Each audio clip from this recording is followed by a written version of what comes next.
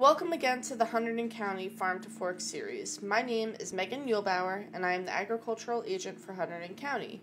And today we're going to be talking about asparagus. Asparagus is the most well known member of the Asparagaceae family. It grows from and is most often planted as a perennial crown structure. Asparagus is a monocot and it is dioecious, meaning male and female flowers grow on separate plants.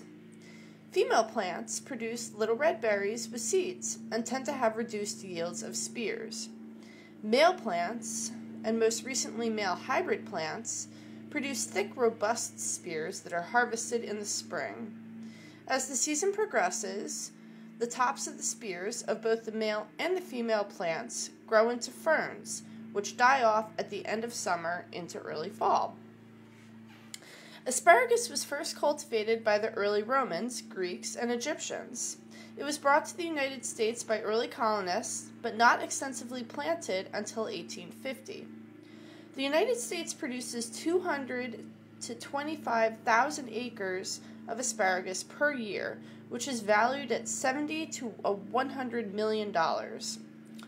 There has been a significant reduction, though, in acreage of asparagus production in the United States over the past 20 years due to imports from Central and South America. The top asparagus producing states in the United States currently are Michigan, California, Washington, and New Jersey. Asparagus can be a very productive plant for some gardeners in New Jersey. It grows best at a pH of 6.2 to 7 and has high potassium requirement. Thus, it should not be grown in soils that have been shown to have less than optimum potassium levels.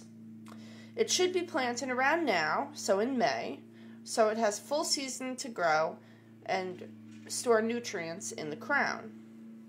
Asparagus is placed in an 8 inch deep furrows when they're planted. Interestingly, new asparagus crowns should not be planted in an old or previously established asparagus bed because it is self allelopathic. This means that it releases toxins that will inhibit and suppress growth of new young asparagus plants or transplants and crowns. For those of you who enjoy white asparagus, simply keep young growing spears covered with soil or plastic, and that will result in white spears. A newly planted asparagus crown will take five years to reach full maturity. It is important to note that asparagus should be gradually harvested for longer periods of time as it matures. So, at year one, it can be harvested for one, one week, year two, for 14 days, year three, for about 30 days, and by year five, it can be harvested for six to seven weeks. Asparagus should be harvested with an asparagus knife or snapped at the soil line once spears reach a maximum of 7 inches tall. It is a very fast grower, so it puts on approximately 2 inches of growth per day. After harvest, it should be put in a refrigerator and can be kept there for two weeks.